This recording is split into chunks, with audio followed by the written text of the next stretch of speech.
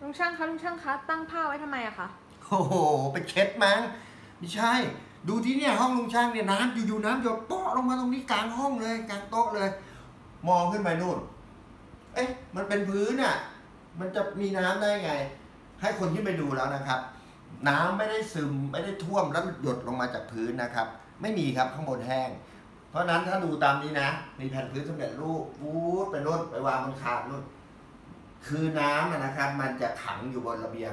ด้านนอกนะครับ แล้วมันอาจจะซึมเข้ามาใต้ แต่ระหว่างคานกับพื้นเนี่ยแหละ มันซึมเข้าได้นะครับ เดิมมันจะหยดอยู่แถวๆนี้แถวๆถ้าจะมีมันจะหยดแถวหน้ากระจก นี่แสดงว่ามันย้อ